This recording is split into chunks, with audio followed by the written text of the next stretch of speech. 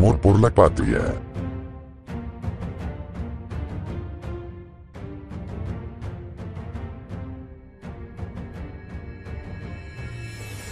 Hola patriotas, bienvenidos a este nuevo programa de los Patriotas Furiosos.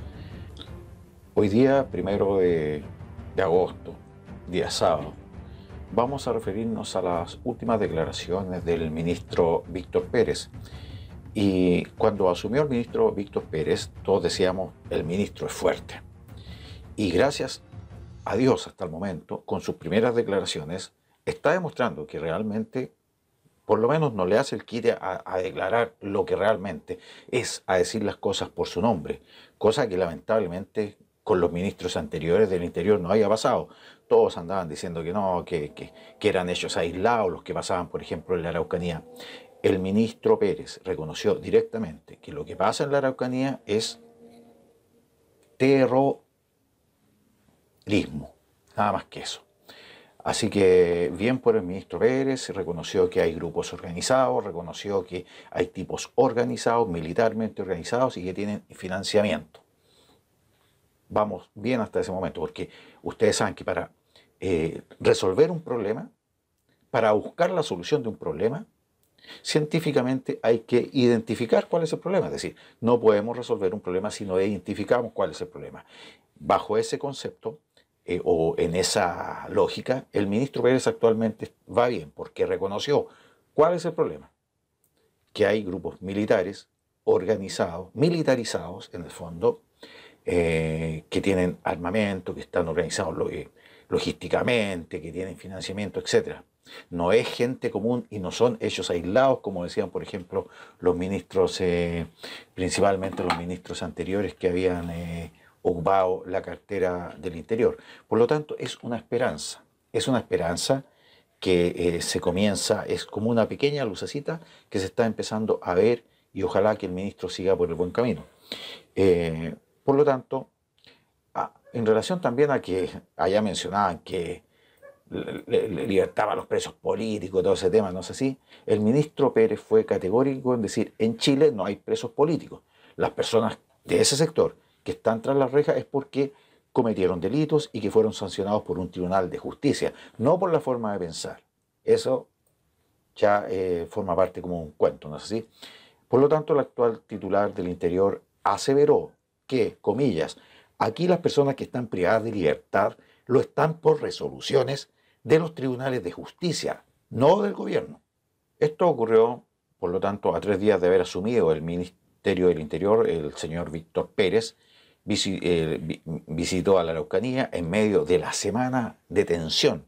En conferencia de prensa, el, secretario de Estado, don Víctor Pérez, afirmó con toda claridad que en Chile no hay detenidos políticos. Presos políticos entendemos que por sus ideas están detenidos. Y acá, esa gente del sur que ha cometido actos de violencia delictuales, absolutamente delictuales, o de atentar contra la propiedad pública y privada de las personas, no están allí porque piensan diferente, porque piensan en un estado diferente. No, están ahí detenidos por hechos delictuales concretos, por infringir eh, el ordenamiento jurídico de nuestro país.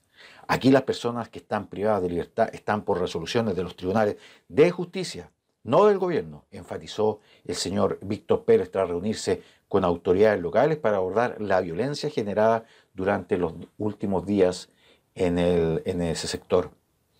Eh, de, la misma forma, el señor Víctor Pérez aseguró tener una especial preocupación por la Araucanía, porque él dice, eh, el diálogo, la conversación y escuchar a todos los actores es parte de mi actividad. El gobierno no pretende eh, poner por sobre las espaldas de las policías la solución de un conflicto.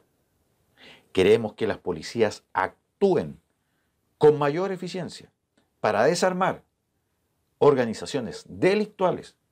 Eso significa generar diálogos políticos y redes sociales con personas que piensan distinto a uno, pero que es necesario para restablecer la paz, añadió. Así que obviamente el ministro no va a revelar todos los planes que está preparando ahí delante de la prensa, no es así, pero lo que sale para afuera, lo que sale del ministro es alentador porque él está reconociendo, como vamos a escuchar en las siguientes declaraciones, eh, que ahí definitivamente hay un problema de niveles superlativos, de nivel superior. Escuchemos lo que dice el ministro. Existe la evidencia absoluta que estamos aquí frente a grupos con capacidad militar, grupos con financiamiento, con eh, eh, capacidad eh, operativa y logística, que en Chile no hay presos políticos. Presos políticos entendemos todos aquellos que por sus ideas están presos. Aquí las personas que están privadas de libertad están privadas por resoluciones de los tribunales de justicia, no del gobierno.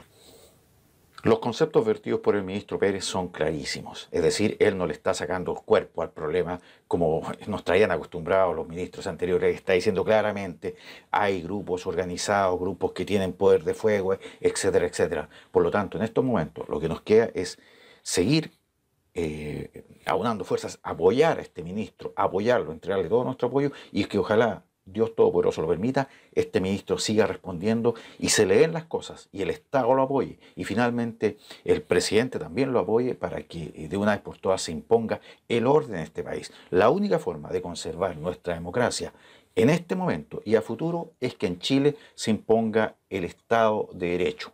¿Y cómo se impone el Estado de Derecho? Bueno, eh, primero eh, restableciendo el orden.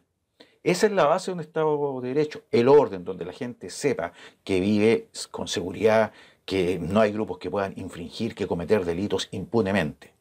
Es decir, y para eso constitucionalmente los encargados son la, la, fuerza pública la componen los carabineros y la PDI. Sin embargo, en un estado de excepción como el que hay acá, específicamente en la Araucanía, donde ya, en las propias palabras del ministro Víctor Pérez, hay grupos con capacidad militar, bueno, para eso tenemos a nuestras Fuerzas Armadas, así? Llegó el momento de combatir en igualdad de condiciones a esta gente, de ponerse firme. El ministro del Interior, al parecer, va por ese camino y esperemos que Dios lo ayude para que pueda sacar adelante la seguridad interior de nuestro país.